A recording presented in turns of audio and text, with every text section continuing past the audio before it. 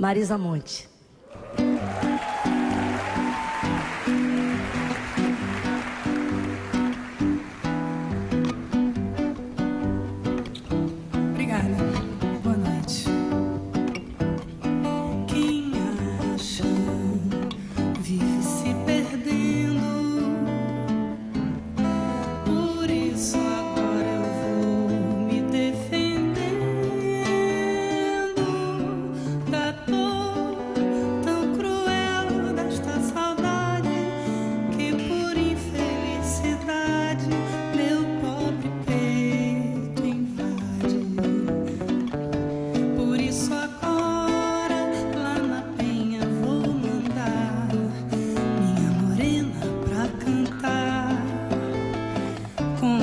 satisfação e com harmonia esta triste melodia que